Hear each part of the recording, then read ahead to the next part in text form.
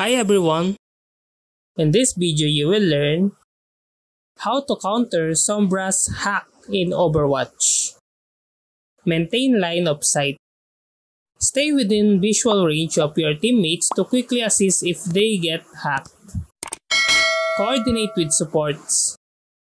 Support should position themselves near tanks or DPS to provide immediate healing if hacked. Peel for supports. Tanks and DPS should be ready to peel for supports who are hacked, providing cover and eliminating threats. Use shield tanks. Choose tanks like Reinhardt or Orisa, whose shield can protect against hack attempts. Spread out. Avoid clumping together to reduce the effectiveness of Sombra's EMP or ultimate hacks. Prioritize Sombra. Focus fire on Sombra to force her to translocate or retreat, disrupting her ability to hack. Communicate hacks. Call out when you or teammates are hacked so others can adjust positioning or support.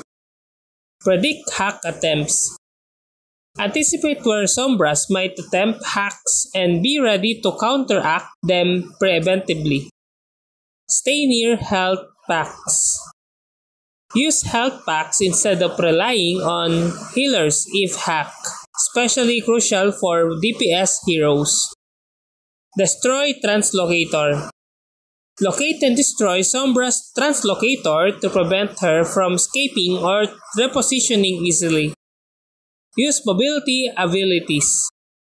Heroes with movement abilities can evade hacks and quickly engage Sombras. Check flanking routes. Keep an eye on potential flank routes and be prepared for Sombra's surprise attacks. Sensitivity to audio cues. Pay attention to Sombra's audio cues to react promptly. Hack priority targets.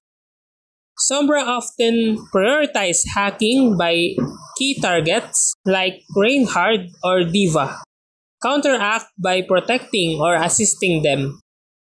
Adjust playstyle.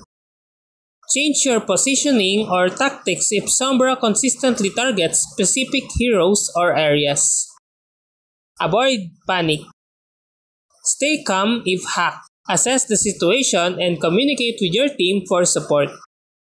And that's how to counter Sombra's hack in Overwatch. If you like this video, please click the like and subscribe and ring the bell icon to notify you to our next video. Thank you for watching.